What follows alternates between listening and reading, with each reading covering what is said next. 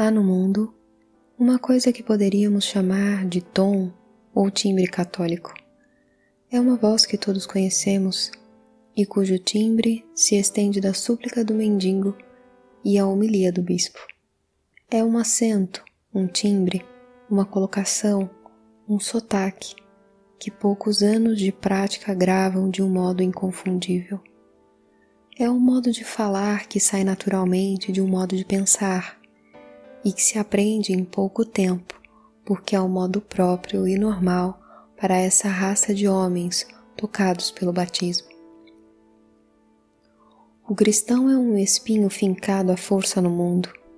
É um soldado do Cristo, do Senhor, do Imperador, portador da sua cultura, autêntico representante onde quer que esteja, vivendo humilde e vitorioso entre as formidáveis pressões do mundo e de Deus, na exinanição e na exaltação, defrontando todas as ondas com um ato positivo.